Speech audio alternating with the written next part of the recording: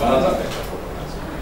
Се обидам да видам курс и концизен, за да возможиме присутните да добијат шанса да дебатираат со нас, а не само ние по традиционален начин днеска треба да способиме памет на луѓето кои многу подобро од нас знаат каде живееме и во кое време сме. Да сакам да се осврнам една дилема за која не само целокупната практично интелектуална елита или политичка елита, и обичните граѓани мислат дека ја разрешивме во 90-ти. Дали одиме кон запад и дали треба да станеме член на Европската унија, таа во некои чудни облици последниве години се враќа на голема врата и ние денес се дебатираме повторно не овде во државата Македонија. Дебатираме повторно дали ни треба Европската унија. Ние сме практично бомбардирани од најголемиот дел од медиумите se pod kontrola na politički faktori, gdje ga Europska unija rasplati ima tu negativnih tendenciji, što je bespredmetno da se bliži nekom ta organizacija u koja niti ima demokratija, niti razvoj, niti prosperitet, niti imina. I se citirat standardno primjeri na državi koji se isključitelno bogati, stabilni, Švajcarija, Norveška koji nese čeki Europska unija, pa što im fali, to. Сум го одговорил многу пати и на вакви на слични трибини, и јавно, и на предавање со, со младите генерации студенти, Голема грешка е, и веројатно тука лежи одговорност и на многу генерации политичари, кои не објаснуваат дека ние во Европската унија не одиме за да земеме кеш пара. Да не работиме, а да ни дават 3000 евра плата на секој први. Ние одиме во Европската унија и мора да одиме според мене заради вредностите во таа организација. Ние ќе се обидам да ја преведам на народска дебата која е за жал и оние што ја воде и оние кои учествуваат во неа, ја представува на абстрактен начин и малку обичните луѓе разбра да за што станува збор. Значи, Че ние во Европска унија мора да одиме заради моделот на организација на тие држави и општества, бидејќи до сега во политичката историја на светот не е забележана поуспешна организација во делот на политичките и особено во делот на економските интеграции. Че таму се лоцирани најбогатите и најдемократските земји во светот. Би било логично, не само како политичари и експерти, како обични граѓани да тежиме да личиме на една Германија, една Британија, на една Франција, скандинавските земји, а да не да личиме на држави од Централна Азија и Далечниот Исток. Еве неколку примери. Кои се тие вредности за кои зборуваме, кои нам ни фалат и за кои ни треба реперот наречен Европска Унија, за да можеме еден ден да наближиме.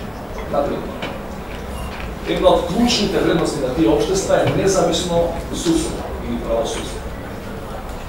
Без да одиме во политизација и во дневна политика, секој од вас знае многу вредни примери кога обичните луѓе, обични така наречени случаи не можат да ги истера до правдата, затоа што некој тие структури таму е врзан со некого или е платен од некого.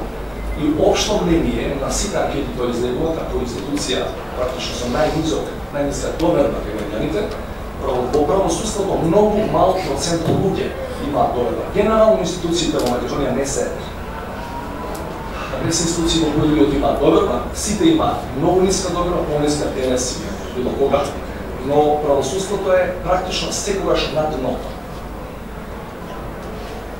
Друга вредност. Независни медии едно од столбовите на секоја демократија и која ќе постави прашање до луѓето не само денес, а било кога нараз години и години, дали го слушате тоа што редовно се случува во оваа наша земја на јавниот сервис. Не зборам за приватни медиуми кои имаат своја редовачка политика, други финансиери, можат како сакаат да ги терат работите, Тука сите ние, сите ние, предпоставувам, платјаме 190 денари месечна такса, а не ни кажуваат што се случува, ако гледаме на нашиот нос. Зашто плаќаме? Прашањето дали треба да платиме?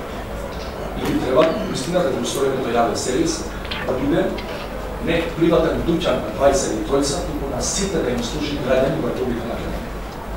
Базична вредност, да го кажете своето мислење и да се соберете ако сакате да протестирате за што сакате. Вчера имаме конкретен случај, самиот бев таму, за прв пат во независна Македонија не ни беше дозволено да протестираме со самолюбито за што сакаме да протестираме пред владата, бевме насочени пред парламентот. Можете да пренасочите соби од безбедностни причини само пред училиште ако сакате да протестирате, пред болница или пред стратешки објекти на воен капацитет. Нема до сега случај да е забранет протест пред влада или да пред собрани за логични, природни места за протестирање. Вредност базична западноевропските општества држави е професионална администрација, во која не е битно дали имаш партиска книжка, дали имаш способности, вештини, знаење и интегритет. За да можеш да се разбираш сите градени, apsolutno ne znam što koja je etnička pojasa, koja je politička partija, se, Da li uopšte osjećava jedna politička partija, mi znajemo tendenciji devolagiranja se stavični od čuvar do direktora gdje ne možete prezati tamo od ta administracija ako ne ste pravomeren i ako ne imate visnica politička očekanja. Da se ima kontrargumentima ovdje koji ne uvedu vati, Evropska unija ovdje navodu i samo što ne se nastavno, Veli, i tamo ima problemi, osobeno u ekonomskom sferu, И го цитираат нашиот јужен сосед Грција. Еве да знаете со сите проблеми, во Грција имаше стратешки економски проблеми, финансови проблеми, кои подоцна стане политички проблеми. Грција, според последните податоци на Евростат, за 2014 година има просечна плата 1440 евра, внимавајте, по платење на сите Не брутно платење 1440 државата која е најмногу пропадна, пропади од светската економска криза, има во моментот, рачунете сами, колку пати повисок стандард приходи од глава и по семејства, сакате од Македонија. Контрааргументот е, например, дека постојат и таму и ги влечат на ниво на источок примери на корумпирани суди, на корумпирани политичари, и па не кажуваат дека практично не постои ни една земја членка на Европската унија која немала судски процес против висок функционер и на актуелните власти. Да не одиме во старите зрели демократии. Земјата го примерот со последната земја членка на Европската унија, со Хрватска, која во време додека неговата партија беше на власт, имаше голем судски процес кој заврши со казан затвор за поранешни премиер Сантер. Има, велат таму, и медиуми кои се зависни од центрите на моќ. Да биде на чисто. Нема медиум на запад, кој не е зависен од центрите на моќ. Дали е економски, големите корпорации, дали е политички, ова првото да почесто од второто, меѓутоа нема да радите јавен сервис кој исполнува партиска агенда наместо општа граница.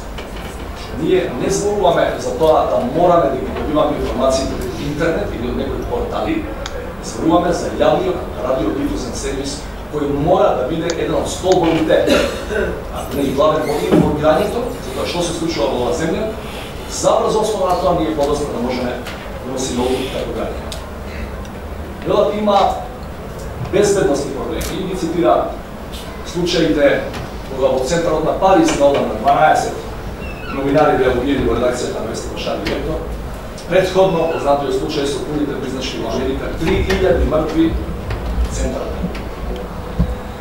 Тука знаете кој е разликата? Таму имало и има така случај.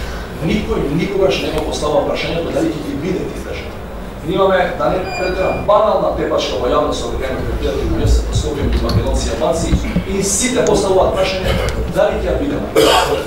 Ние држави се фикс во својата територија и граници со своите институции, такви си има, не се систем. Не ја треса држава. Нема теоретски шанси да се распадне Америка заради нападот да на судите бизначки. А овде гледате, да не кажам и други подрастични примери, кога сите се прашуваме до кога ќе го поставуваме тоа прашање, дали има иднина Република Македонија. Денес не само што има проблеми во Европската унија, денес некои размислуваат и за напуштање на Европската унија. Денес има многу битни избори во Велика Британија. Прашањето не е само дали лабористите или конзервативците ќе бидат на власт. Прашањето е дали ако остане сегашната власт нема да имаме референдум 2017 со прашање дали Британија се да ја напушта Европската Знаете што е нашиот проблем со неразбирањето на британските мотиви, а вода према така. На Британија не ги треба тоа вредности, за кои што зборува. Британија ги има тие вредности. Британија има парламент од 13 век. И таа и многу други држави во светот излезуваше вредности. Излезуваше модели на организација на општествена држава. И денеска тие само една работа калкулираат. Дали моделот на парите, кој е делот на економијата и развојот, може да изгуба овие или да изгуба тој ако останат или ако не останат во Европската унија. Кај нас е дилемата сосема друга. Ние ја немаме доправено са главни државата да во делот на вредностите, да во делот на фундаментите, за да можеме да размислуваме за стандарден развој, поголем, помал, понатаму. Не само Велика Британија. Пред неколку месеци новата влада на Исланд ги прекина преговорите, ги почна па ги прекина преговорите со Европската унија. Кога год размислувате за вакви случаи, треба да знаете дека пер капита Исланд има 44.500 евра. Тоа е кога се одбија тој ќе принонеси и кога ги споредиме со претходно грчкиот приноше било дупло повеќе од Грција, што е комотно можат, комотно можат да останат и без Европска Да се вратиме на примерите од самиот почеток. И Норвешка, и Швајцарија, многу, многу пред да се направи воопшто Европската унија 50 години биле и демократи и биле богати. Република Македонија никогаш не била демократија и никогаш не била богат. Затоа ни треба Европска. Благодарам. Благодарам професор Кандаровски.